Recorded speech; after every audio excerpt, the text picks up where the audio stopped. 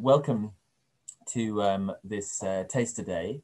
Um, I understand that you're all um, applying or interested in applying uh, for uh, a degree at SOAS. Um, it's uh, very great, very, very good to welcome you here. Um, Southeast Asia is a, a, discipline that's been taught at SOAS for very many years. Burmese has been taught for over 100 years at SOAS and Indonesian for almost as long, I think. I'm not sure exactly how long. My name is uh, Justin Watkins and I'm professor of Burmese and linguistics. So I teach Burmese language and uh, various subjects in, in linguistics. Um, and I'll be talking to you in, in a, a, bit later. But first of all, I'm going to hand over to my colleague Soe Tjen, who is our um, Indonesian teacher. And she's going to get, do a small presentation about Indonesian and we'll do Burmese um, a bit later. Thanks. Okay, thanks, Justin. So my name is Soe Tjen Marching and I am lecturer in Indonesian. And today, instead of uh, talking about Indonesian, you know, like Indonesian language per se, I'm going to talk about Indonesian cultures as well, okay? Uh, and if you want to know a bit more about Indonesian language, you can actually see the YouTube videos. Uh, it's called SOAS Language in Lockdown and then you can type Indonesian and Indonesian grammar and my, you know, like videos about uh, Indonesian language are there, the two videos there. Okay, so I'm going to talk a bit about uh, Indonesian cultures and traditions and please feel free to ask anything, okay? Right, so, so here it is what people usually know about Indonesia is it's a patriarchal country with the largest Muslim population in the world. Okay, that's what usually people say when they hear about Indonesia. But uh, Indonesia is a lot more complex than that. So officially, Indonesia recognizes uh, six religions, Islam, Protestantism, Catholicism, Hinduism, Buddhism, and Confucianism. But besides uh, being the largest Muslim population in the world, Indonesia also has the largest Buddhist temple in the world, and it's called Borobudur. So this is the interesting thing, yeah. Um, this is because Indonesia also, in the past, Indonesia has a very long Buddhist and Hindu history. Now, one of the examples, for instance, is Bali. People always think that Bali, uh, Bali is not Indonesia. Some, uh, some of some of the people, not not always. They, some of them think that, but Bali is actually in Indonesia. Okay, so 83% of the people in Bali are Hindu, and Hinduism has been mixed with animistic and local tradition. So the Hinduism in Bali is actually very different from the Hinduism in India. Um, for instance, the Balinese make offerings to the ancestors and, um, and, and spirits connected to their local places such as mountains, seas, and trees. And uh, because of the requirement that Indonesians must believe in one God, the Balinese had to adopt the divine oneness, yeah, which you cannot find in India. And the caste system in Bali is not as strong as in India and is now disappearing. Now, what is Indonesian culture? If you ask me, um, my answer is there's no such a thing as Indonesian culture because there are hundreds of traditions and belief systems. There are over 700 languages spoken in Indonesia. And the language Indonesian became the national language only in 1928. It is so Indonesian is a version of Malay, and the language it's spoken is in, in Indonesia, Malaysia, Brunei, Singapore, and in the small part of southern Thailand. So if you learn Indonesian, usually you will have uh, no problem understanding Malay. Yeah, so you can speak with people in Malaysia. Mm, you may misunderstand them a bit but it's not to take long for you to understand Malaysian people. And, and also Brunei, because uh, two years ago, actually, I went to Brunei and I just, you know, spoke with the people there in Brunei and they, they understood me fine. no problem at all. And also in uh, some part of southern Thailand, yeah, they, they, they speak uh, Malay there. And Indonesian language is almost genderless, but the more modern words have gender. And I'm going to explain why, why Indonesian language is almost genderless. Now, this is, this is the most probable uh, reason, okay? Indonesia has the largest matrilineal society in the world, actually, now, even now, okay? It's called the Minangkabau, and the total population is about 8 million. And I'm going to explain to you what matrilineal society is. So the family name, I think most of you will have your family names from, the from your fathers, right? But in matrilineal society, family name and property are inherited from mothers to daughters. Yeah. So the sons in this in this um, custom, the sons don't really get anything. Yeah, they, they will they will get something, but at the discretion of the daughters. Okay, so this is the matrilineal society in Indonesia, which is which I think is quite interesting because Indonesia is known to be a patriarchal country. And most of these people are committed Muslims, but the matrilineal system has started to change because of the stronger Islamic influence now. And also the stronger, you know, like patriarchal systems also, also has more and more influence now.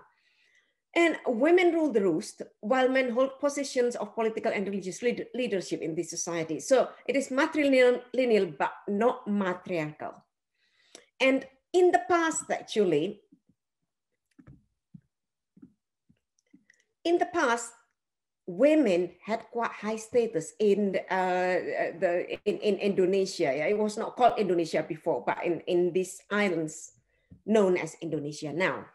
The high status of women in Southeast Asia had been recorded by European travelers, especially during the pre-colonial period. This did not mean that men and women were equal, but had different roles and women's spheres were very extensive compared to their European counterparts during that period. And women were active traders and had extensive power in household decision making.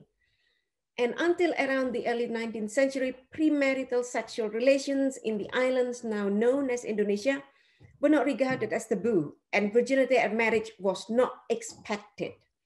And compare that to the um, European counterparts at that time, yeah, because in um, in 19, uh, you know, like 18th or 19th century, my goodness, virginity was was uh, like required at that time in Europe. Now, however, in Southeast Asia, if a woman got pregnant, there was a requirement that the man must marry her. Okay, and this is another interesting thing about uh, Indonesia. So perhaps you think that Indonesia is patriarchal country and sex is considered taboo, but there was this one 15th century Hindu temple located on the slopes of Mount Lawu on the border of, uh, between uh, Central and East Java, the symbols of male and female genitals. It was so highly sexualized place, this one, yeah? So the, the, the symbols of female and male genitals could be found everywhere in this place. And um, and indeed, some European missionaries uh, have taken notes, the, the, missionaries who came in the, around 16th or 17th century have taken notes that the people in um, on these islands, they were just so um, highly sexualized and they were just, even some of them said that they were immortals because women, women were naked. Women actually, um, many of them actually didn't wear covering on the tops. Yeah, so that's why there were notes like that from European travelers. And why have these diversities changed? I'm going to have to tell you more in classes. And of course, I'm going to, uh, because I teach language, of course, I'm going to uh, teach language in such a way that you also understand cultures and why the language is like that. So while teaching language, I'm going to talk about cultures as well. That's all from me. Uh, you're welcome to ask any questions. Okay, thank you. Great. Well, thank you, Soe Tjen. Um, right, we have uh, we have no no questions yet. I don't think so. I'm going to carry on um, and we do some yep. screen sharing first of all, um, and I'm going to tell you a little bit about um, uh, Myanmar and the, uh, the Burmese we teach. So just um, as you'll all be aware, Myanmar, Burma has been in the news a lot. The last couple of weeks, there was a military coup there on the 1st of February. Um, and actually, I mean, it, it's a, a, terrible event and things are changing fast and we are concerned and worried about our friends and colleagues in Myanmar. Um, but for the people I'm teaching Burmese at the moment, it's been incredibly motivating suddenly having this, this uh, um, massive event going on and uh, the language learning resources that it's generated have been really um, fascinating. So we're all kind of galvanized reading material from Burma Myanmar um, at the moment. So um, what I'm going to do first of all is uh, um, ask first of all if you if any of you are interested in learning uh, Burmese or Indonesian specifically, do say so. Um, we're not quite sure what uh, aspect of Southeast Asia it is that you've um, that attracted you um, to us and to this session. So do please uh, tell us more about yourselves. Um, uh, Myanmar, you'll see, is uh, in mainland Southeast Asia. It's sort of the western edge of uh, the area that we usually define as Southeast Asia. Um, and it's sandwiched between Bangladesh and uh, Thailand with borders with a long border with China and to the northeast as well. So that's where it is. And culturally, it sits between, culturally, it sits between Southeast Asia, India and China. So both linguistically, culturally, um, you can't uh, learn any Burmese really without dealing with politics and Buddhism. Those are two um, uh, core uh, features of, um, of the country. Hold on, I'm just trying to find uh, the chat uh, channel, which has disappeared too many too many windows open. Um, I think someone sent a message in chat and I can't find it. Hold on a second. Where's it gone? Other way behind me. Right. Hold on. There we are. Good. So um, this is the BBC News. What I'm showing with you now is the BBC News live feed of events in uh, Myanmar related to the coup, um, and a very um, powerful image there of Buddhist monks wearing their COVID masks. So of course we've got the COVID pandemic, which has forced us all online and is um, a reason why we're all wearing masks at the same time. But the streets are filled with uh, people protesting against the, um, the military coup. Um, and the BBC has uh, Burmese language coverage of that. And another reason for showing you this, of course, is to show you the um, very, very beautiful Burmese uh, script um, which is one of the most enjoyable parts of learning Burmese.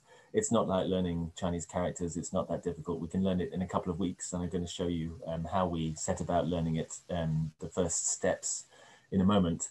Um, but it's an Indic script, which means it's borrowed from the scripts designed for South Asian languages. So it's related to the script used for Hindi and for Tamil.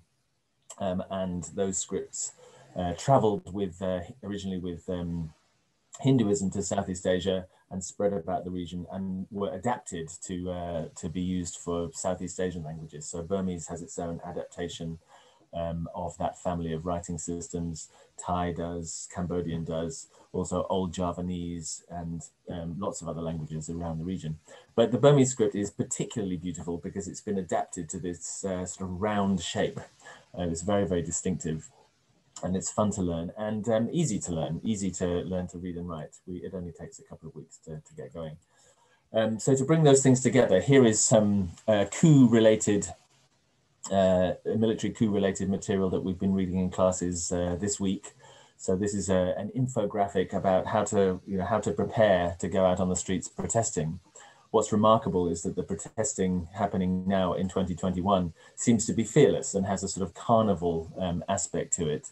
Uh, the last time that people were out in the streets in large numbers was in 2007. You may have heard of the Saffron Revolution, where there were um, beautiful pictures of uh, of monks um, marching in long in long lines through the streets. But that ended in tragedy. People were terrified, and the military um, used live bullets, and a number of people were killed, including some monks.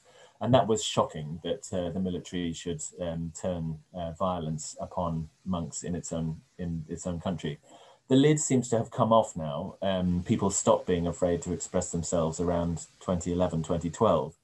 Um, and since then, social media and mobile phones, smartphones have become ubiquitous in, in Myanmar. And so the flow of information cannot be controlled in the way it could be in, in um, 2007. So information like this, infographics, photographs, memes, um, it's a sort of social media uh, protest event, which is uh, fascinating. So here, the infographic I've shared with you on the screen there tells you what you should wear. So down the left-hand side, you should wear a long sleeve shirt, two layers. You need a hat. You should have jeans. You should have shoes that you can run in easily. I mean, it tells you there's on the right, there's five pieces of advice. So um, go to make sure you stay in crowded places. Don't go out and protest on your own. Um, keep following the news. Um, tell someone in advance where you're going. Um, don't confront the police full on and uh, make sure you get home before dark. So then we've been using those instructions as a way of learning the um, grammatical, uh, the, the syntax and the grammar in those instructions, um, which has been really engaging for the students learning. And there's some good, um, some good learning points in there as well. And it's great advice if you go on a protest um, as a student, of course, which uh, lots of students um, do. I certainly did when I was a SOAS student many years ago. Right, what I'm going to show you now, if I can switch to another set of images, also on the shared screen. So I'm going to tell you a little bit about how we go about learning Burmese um, in the first lesson that you come to. These are the sorts of things that you'll um, see. Um, so we divide the learning at the very beginning into learning the script, which needs to be done um, carefully and, uh, and will take up quite a lot of your attention for the first few weeks only of learning the script. Um, and we learn the grammar separately um, using a, a transcription system. So hold on, let me reduce that a little bit. So we have handouts like this where you're learning really simple sentences. It's hot, isn't it? It's cold, isn't it? It's good, isn't it? Learning the basics of putting verbs together. But Burmese verbs are, are quite complicated. You learn the, the basic forms and, um, and build them up. And at the beginning, we use a transcription system, so a romanization, so that uh, a way of writing that represents the sounds in a way that you can you can read with a bit of help from from the get-go. And then later on, you'll be learning to uh, write what you can say using Burmese script, sort of after four or five weeks. Um, that's how long it takes.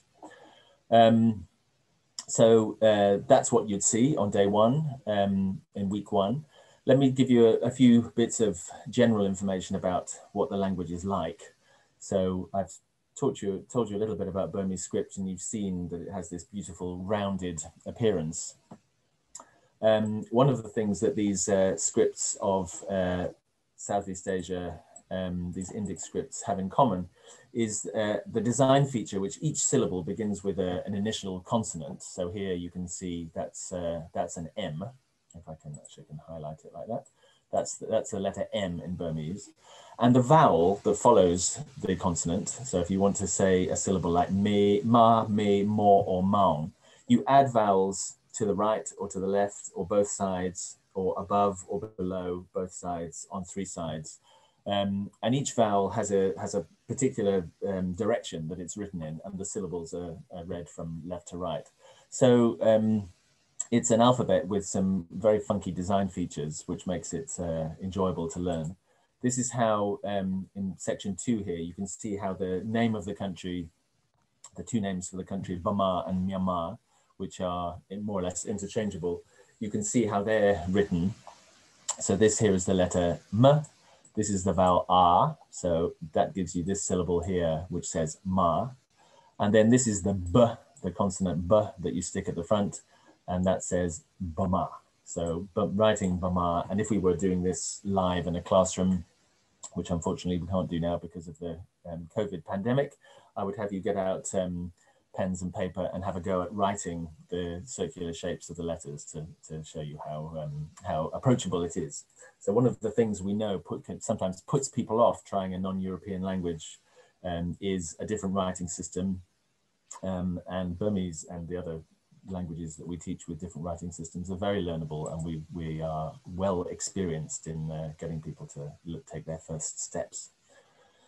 Um, so I'm going to move on for um, lack of time. Um, that's how we write Myanmar.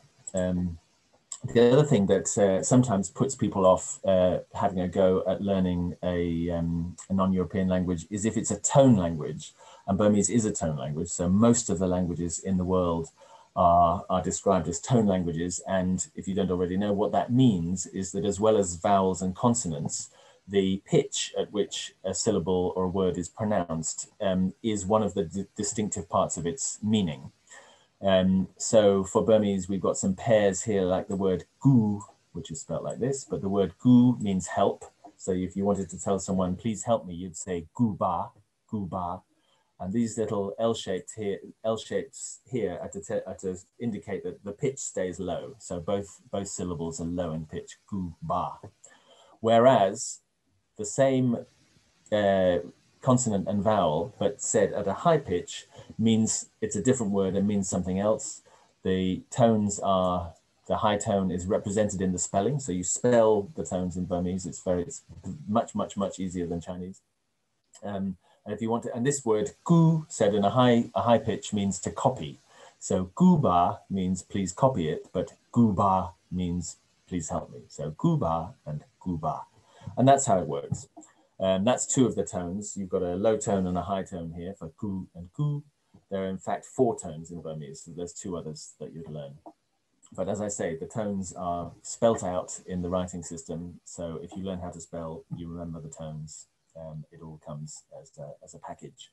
And the last thing before I um, hand over to you for questions, um, if you have any, is um, one of the other interesting features about the sounds in Burmese I said when I introduced myself that I teach uh, linguistics as well. So some of the linguistic um, nuts and bolts and machinery of the language are the things that I find um, fascinating and I'm um, passionate about explaining them as well.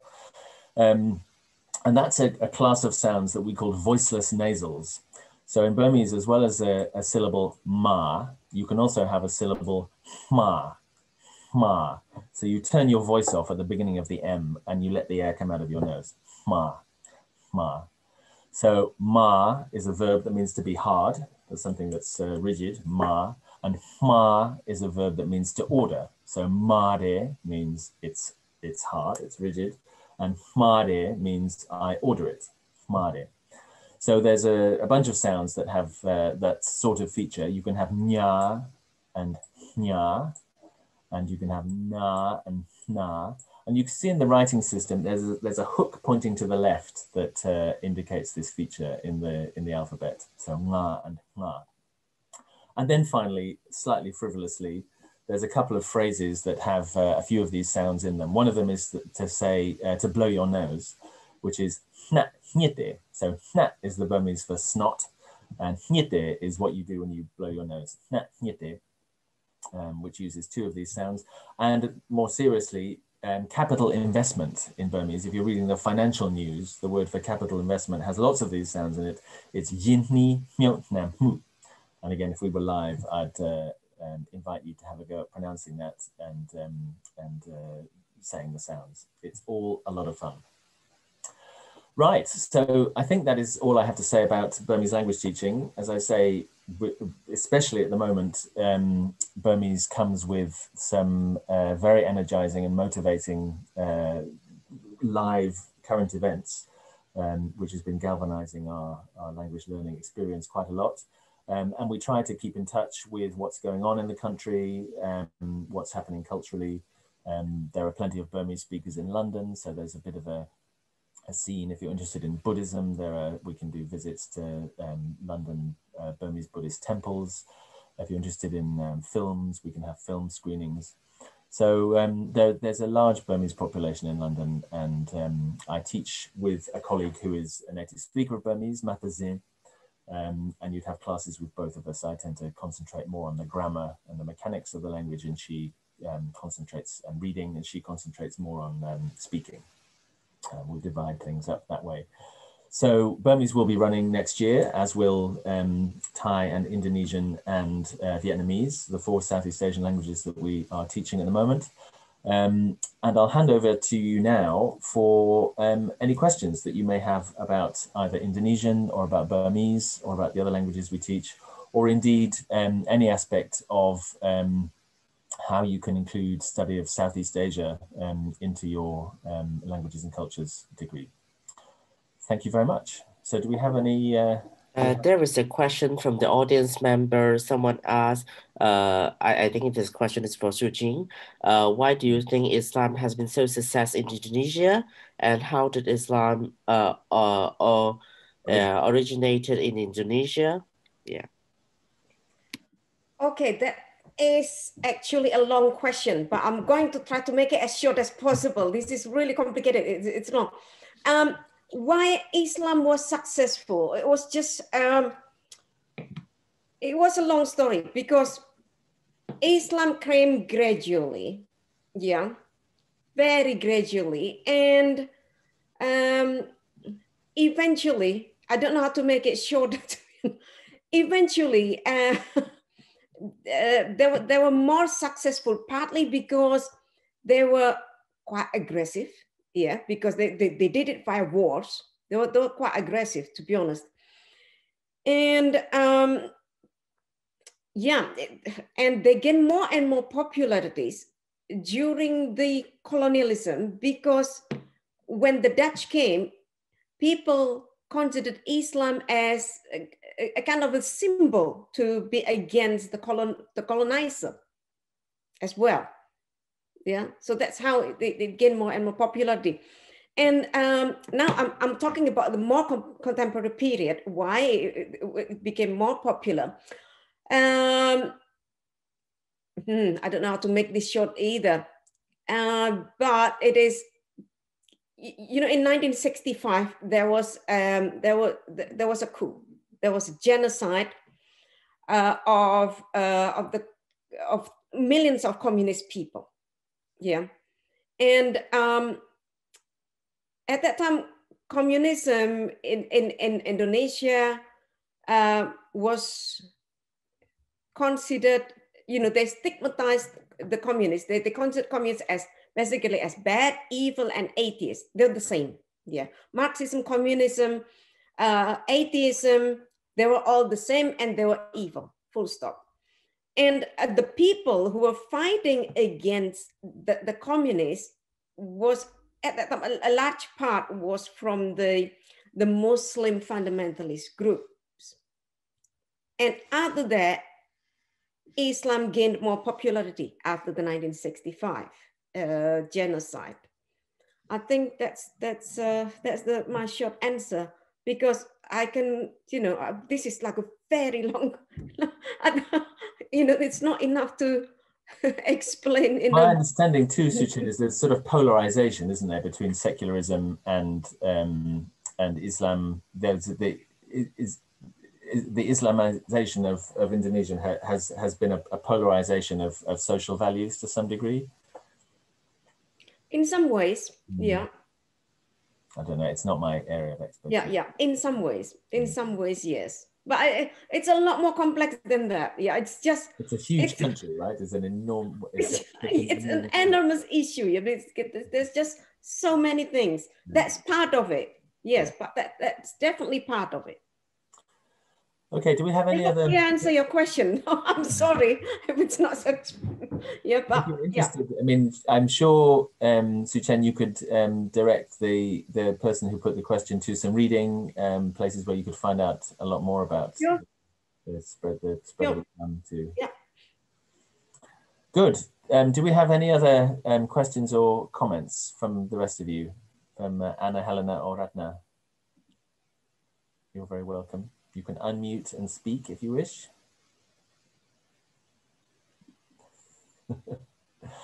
um, and do you know do tell us what your um, what your interests where your interests lie, what attracted you to uh, the SOAS degree, and uh, what you're hoping to to gain from it.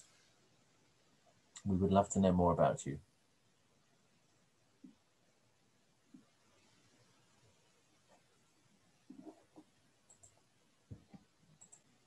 No, are you there?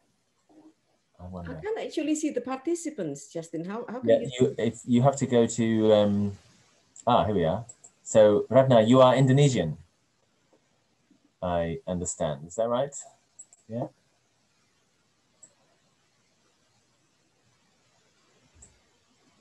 Okay, do, um, oh, I can allow you to, there we are, I can allow them to talk.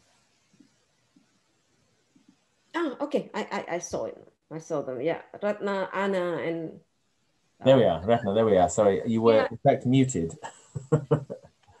Can you hear me now? yes, we can, sorry. Uh, yeah, uh, yeah, I'm Indonesian, but I'm interested to study Chinese. ah, Uh, yeah.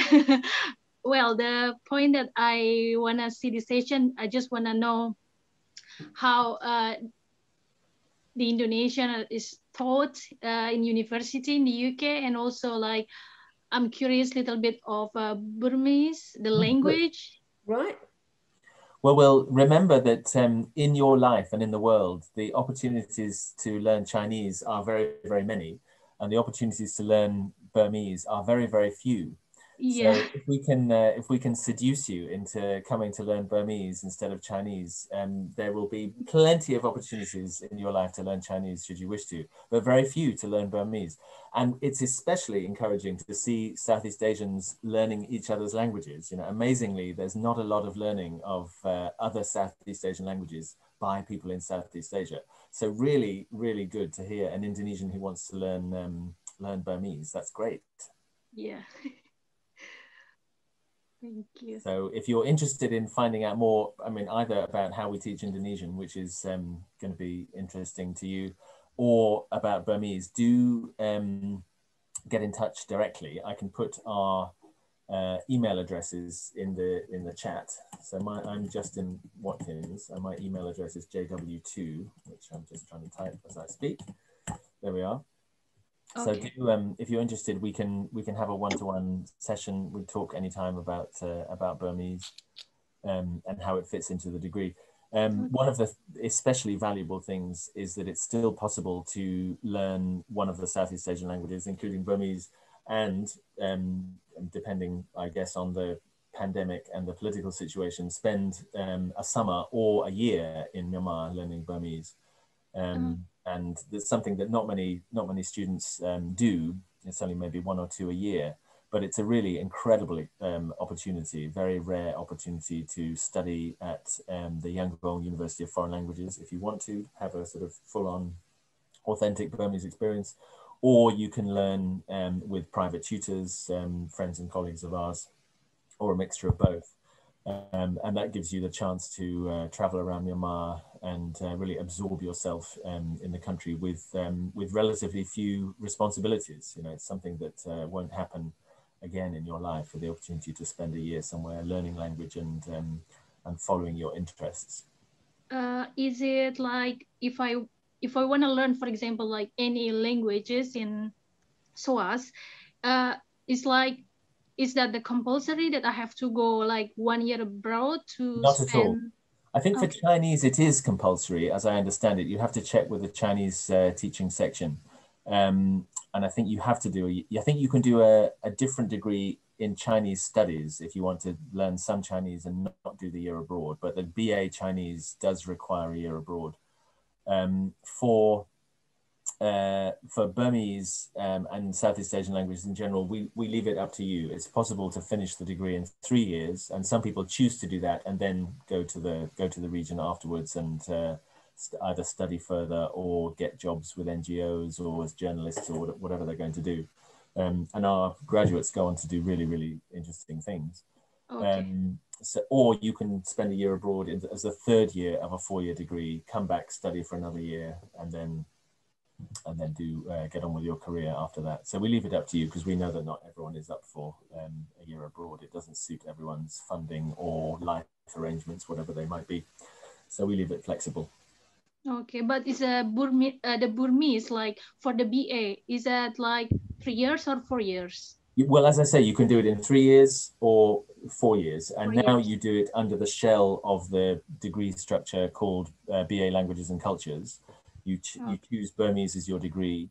You can complete the degree in three years without a year abroad, or you can spend the third year abroad and complete it in four years. There's two there's two formats that you can choose, and you don't have to decide at the beginning. You can decide Okay. halfway through. Okay, thank you, Okay. thank you. Hi. What about um, Helena and uh, and Anna? We haven't heard from you. but uh, you're very welcome anyway. You can ask any question if you want. Yeah. yeah. So I just ask, um, you know, I just got an email, um, Ratna's email address because I'm doing a survey about COVID-19. So mm, great. Yeah. Yeah. yeah. Yeah. So anyway, let's uh, have more questions now.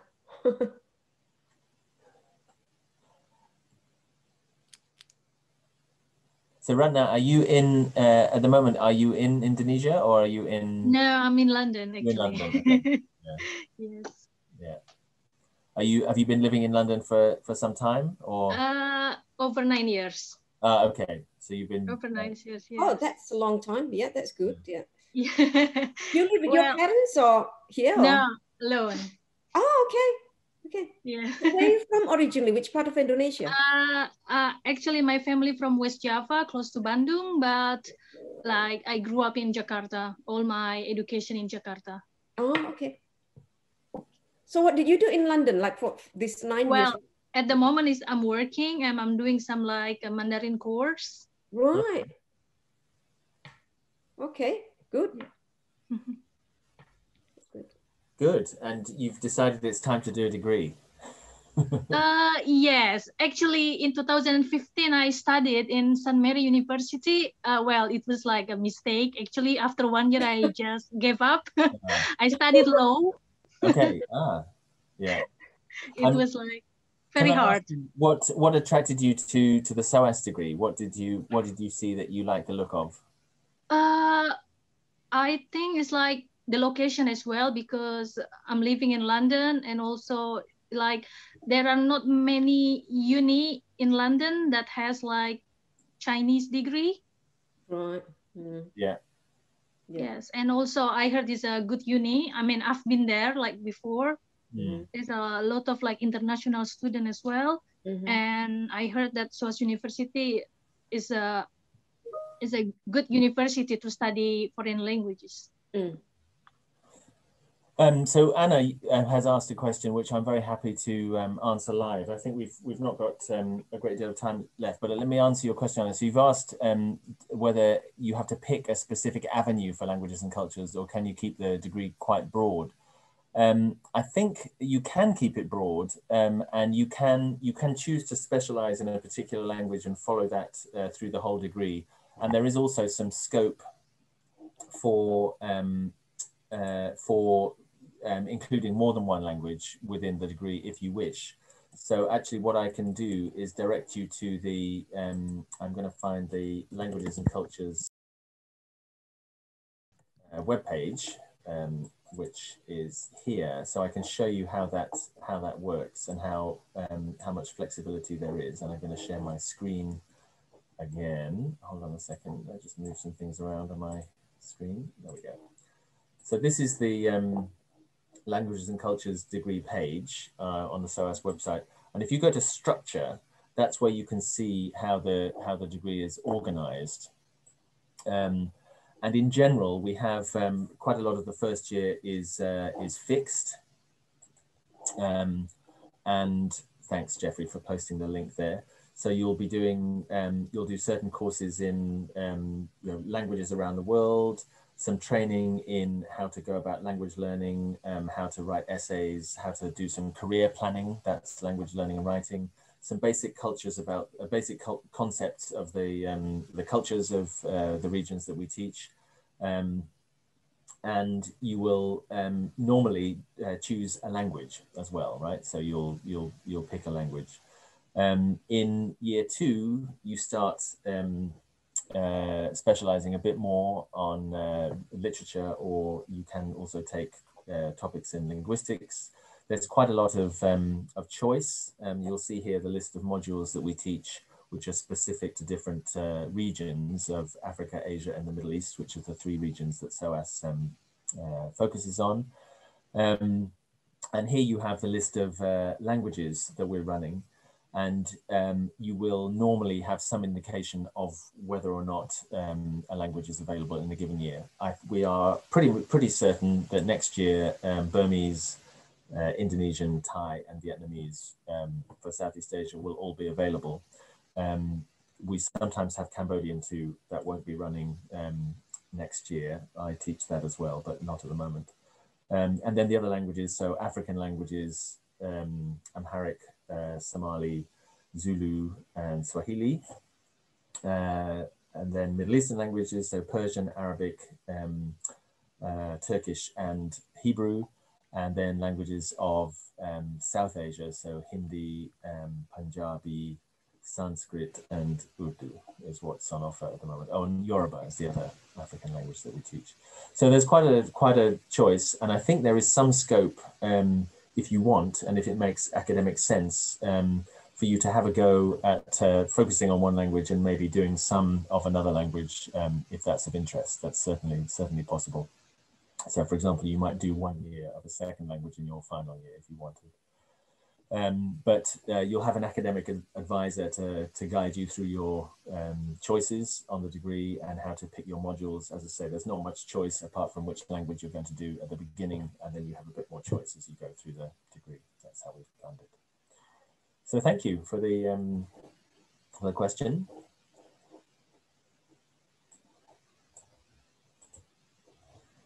Um, do we have any more? Uh, I have a question. Is it uh, Burmese is similar with Thai? No, not related. Okay. The Burmese is um, it is in that it's related. Um, technically, it's related to Chinese. It's Sino-Tibetan, but it's like it's like Tibetan and languages of Northeast India, Southwest China, um, and it's not related to Thai at all. Um, and if you've done any other languages around um, East Asia, it so happens that Burmese grammar is very similar to Japanese grammar, and it's not related at all to Japanese, but it just happens to be organized in a slightly similar way. Um, okay, normally because I was thinking that uh, a country normally have similar language with the neighbor country. That's not true in Southeast Asia. There's a lot of languages going on. Um, and there, so there are five major language families in Southeast Asia, whilst most of the, almost all of the languages in Indonesia are all cl related closely or, or less closely, but they're all one Austronesian language family. Um, in Southeast Asia, there's a, there are three big language families and bits of bits of two more. So there's Tibeto-Burman languages, which are languages like Burmese, Thai Kadai languages, which are languages like Thai, um, and then uh, Mon Khmer languages, so languages like Cambodian and Vietnamese, although Vietnamese has taken on lots of features that make it appear similar to Chinese in some ways. Actually, Vietnamese and Cambodian are related.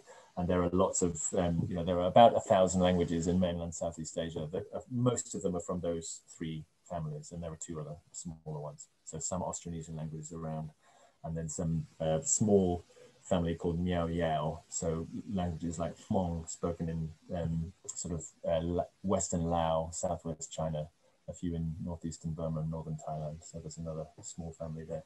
So it's very, very diverse, lots of languages going on. Um, and they do share certain features, even if they're not um, sort of historically related. You know, if you put what happens if you put languages next door to each other for many centuries, they do take on certain similarities, even if they're not related. So that's happened. Yeah. Okay, thank you. Good question. I could go on answering that for hours. That's exactly what I work on. Good. Right, I think we may be um, at this point uh, running. Uh, yeah, I, I think we'll need to, yeah, yeah we'll need to wrap up. Okay. I don't know. I, I know, Justin, you shared your email address um, with, with, with students. Um, Soe Tjen, if you, if you would like to share your email address in case you have any questions, that would be great. Sure. Hang on a second. I'm just going to write it down on, uh, on the chat there. This and, and number SM100.